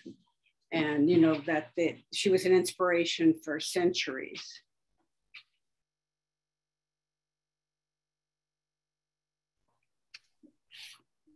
Thank you, Penny. Um, up next, I have Shrikant, followed by Rupali. I just wanted to quickly address um, Joe's point about how this applies to the Bible. Um, when I was making a presentation on this, um, you know, Peter Berkman was there. So I was talking about spirit and matter. You know, Jesus is basically a combination of spirit and matter. And matter is the same word as mother. So that it's basically, it's a combination of God and Mary, the mother. So originally, the mother, you know, Mary, had a very big role in the whole story. And that was reduced dramatically over time. So uh, just wanted to say that. I mean, even, even the words themselves kind of come from there. Thank you. Well, that's something I didn't know. That's a really interesting point. Um, so you're saying it was mother and matter are the same, were meant the same thing? It's the word, mater is the word for mother in Latin. And Ah, matter is the same. It's the same word. It is the same root in Latin. ah, So it's a combination of spirit and matter. So human beings are combination of spirit and matter. So these two elements is what we are composed of. And these are natural parts of us. We have a soul and we have a body. And they work together. And you can't have one without the other. It's just one being with both these aspects. So that's that's what that's what it means. Thank you so much. That, that's really interesting. Uh, thanks, Yeah. uh, Anik. Up next, I have Rupali. Hi, Yagnik and Brian. Thank you, f- and Shrikant. Uh, this is a very nice uh, conversation. I've been looking forward to this meetup for a while. Uh, so now I have just a couple of things to say. Uh, one is that, you know, why does ISIS not take over the kingdom? Why does she have to bring Osiris back to life? Uh, part of the thought is that is it the balance between the male and the female, or was the society so patriarchal that they couldn't have a female ruler? Uh, so that's one question I have about the story itself. And then just an observation about, you know, all the qualities that make Isis, the strength that she has, the nurturing element. Um, as Brian said, it goes across generations. And I think that's, um, those are qualities of women around the world throughout generations. So thank you. Thank you, Rupali. Um, as to the question of why she couldn't rule the kingdom, that is a very good question that I don't have an answer offhand. Brian, do you want to add anything to that? No, I have no answer, except that, uh, of course, we're talking about a goddess here. So, who someone who's remembered over generations. And I can tell you that certainly during much of Egyptian history, during many of those centuries, uh, a woman was able to be a pharaoh. And there were some prominent women pharaohs. So uh, at why why uh, that was in this story, maybe somebody else has an idea about that. I do not. If anyone wants to comment, they can either type exclamation point in chat or raise your hand in Zoom. So, Evanique, I'll just add while Brian was talking, I was thinking that, well, the storyteller had their perspective, right? The, the end that the storyteller wants to um, share. And so, if she would rule, then uh, the story would have been very different and we would know it differently. That's just one thought I have. That's a very good thought. Um, when you said that, it just made me think of, you know, I was thinking because, you know, even before all this happened, like Osiris was the ruler, and it, I, I don't, I still don't have a good answer. Um, but a theory is maybe it, it, it may have seemed like maybe she didn't want to rule. Like when I studied Isis, it didn't seem like leadership and and like not even leadership. I think she's she's she's a great leader, but I think power, like having that power did didn't matter to her. Like she was powerful in her own right, and maybe she didn't want to rule for whatever reason. I think she was happy with what she was doing. But but then again, it's a very good point because we don't really know that much about what happened, like, you know, like Osiris's rule of the kingdom. And I think it would be a very good point to research for yeah, myself. I, yeah, I like that question a lot. I could look closer at that particular episode because I'm not clear that Osiris uh, ruled after Hor after Isis gave birth to Horus. Certainly, the more important period was when Horus became the king, and the more important dynamic, according to the stories, is uh, the transition from one generation to the next.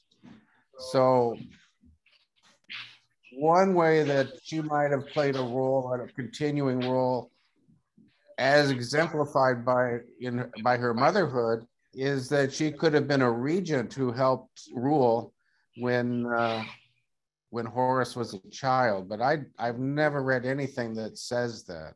But that would be possible because Osiris was uh,